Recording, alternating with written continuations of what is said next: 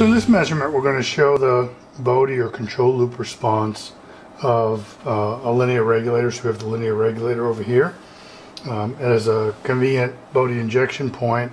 So we have our little banana clips that connect into the injection point. We're modulating the injection transformer from the AFG built into the oscilloscope.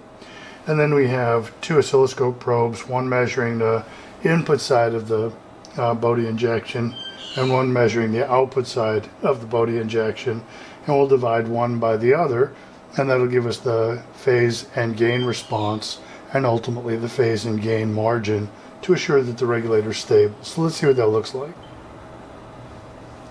Here you can see in the green trace, the gain is starting to fall just about across zero degrees, and that's what we're looking to find.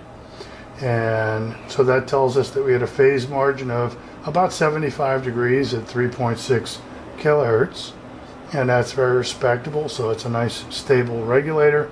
And now we're going to wait, and eventually the phase will cross zero, and then we'll get the gain margin. And here you can see the phase now started to fall pretty quickly, which is often the case in these linear regulators. And it did capture the gain margin for us at about 670 kilohertz, and the margin is 50 dB. So again, very stable regulator.